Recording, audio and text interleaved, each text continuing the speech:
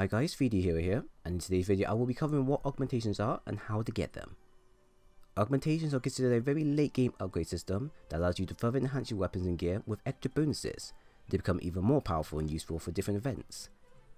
Think of it similar to having a gear set that you love and cherish, and want to further enhance it to where it can fill in other roles as well, without switching out to something else.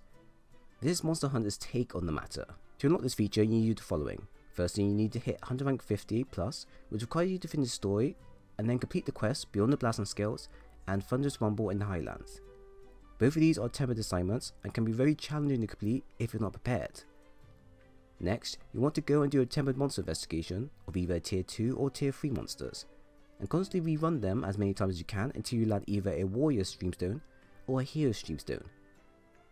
Generally getting one of these will unlock the feature at the armorsmith, and as long as you have the Zenny and some materials, then you can freely upgrade the chosen weapon allowed.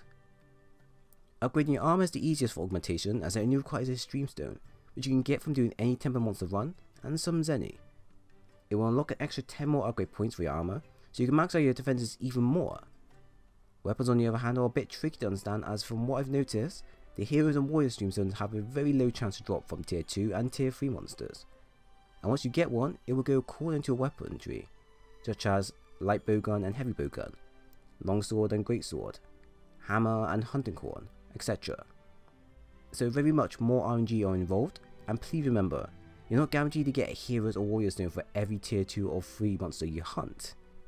Now for the weapon augmentations, you're offered 5 bonuses, attack, affinity, defense, slot increase, and health regen, that can be stacked depending on the rarity of the weapon. Each weapon rarity will have a number of slots that will allow you to add more bonuses to the weapon, from 1 slot to 3 slots. Rarity 8 weapons get 1 slot and require a hero stone that can only be gotten through tier 3 Elder Dragon drops.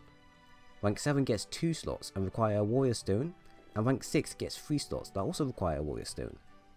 Also, you won't be able to augment your weapon until you max rank a weapon fully. So you can't go ahead and do a low level weapon and augment it that way, you have to make sure it's completely maxed out. The bonuses break down like this. Attack gives you an increase to your weapon damage and stacks. Affinity will always give you 10% extra affinity for your weapon and stack. Defense gives you a plus 10 for your defense on your weapon and stack. Slot will give you a single gem tier 1 slot and stack, but only up to 3 times, and health regen allows you to recover health every time you attack a monster and stack. Each one of these bonuses require a gem from the selected monster, which can be easily gotten if you have a spare golden ticket, and then trade it into the Elder Melder. If not, then you have to go and grind out an Elder Dragon investigation and hope you get lucky with one. Each of the bonuses can be melded and mixed matched into your weapon, and offer you a unique buff that can make your weapon more stronger, or situational. If you don't enjoy the buff you've given your weapon, then you can always change it for another as long as you have the correct materials for it. So experiment until you find something that suits your playstyle. And that everyone is the end of that. I do hope this video offers enough information on understanding what augmentations are and how to unlock them.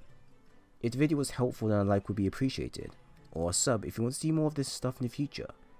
Once again thank you for watching and I hope to see you again soon.